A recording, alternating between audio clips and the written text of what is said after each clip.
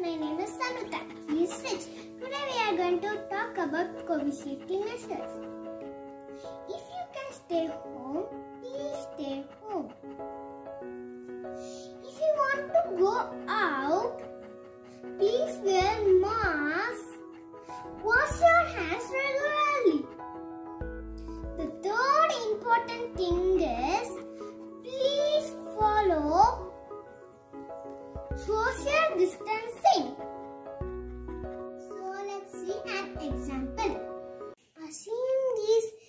Wooden blocks are people.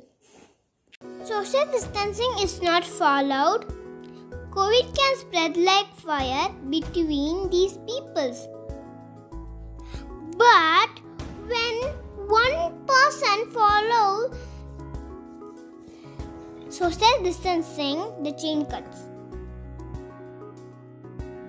So let's follow all the safety measures and cut the chain of COVID spread. Let us be safe and let us help others to be safe. Thank you. Please subscribe our channel for more videos.